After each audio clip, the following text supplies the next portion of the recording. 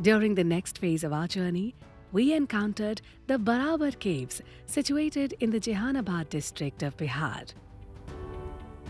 The Barabar Caves, dating back to the 3rd century BC during the Mauryan Empire, 322 BCE to 185 BCE. Emperor Ashok constructed these caves specifically for the Ajivika sect, earning the site its reputation as the birthplace of the Ajivikas.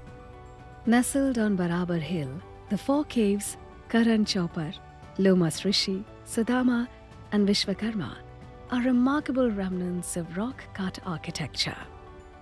These sacred sanctuaries have witnessed the meditative solitude of Jain monks and even Gautam Buddha himself. Guarded by these magnificent elephants, the entrance paves the way into a realm carved from monolithic granite. Among them, the Barabar Hill Caves stand apart, recognized as the oldest surviving rock cut caves, a testament to the enduring spirit of ancient artisans.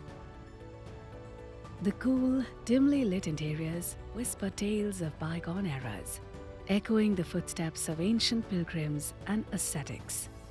The walls, adorned with inscriptions and intricate carvings, serve as silent chronicles, preserving the spiritual and cultural ethos of their time.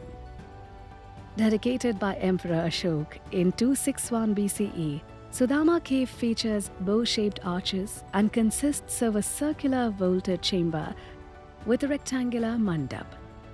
Karan Chopar with polished surfaces and an inscription dating to 245 BCE comprises a single rectangular room.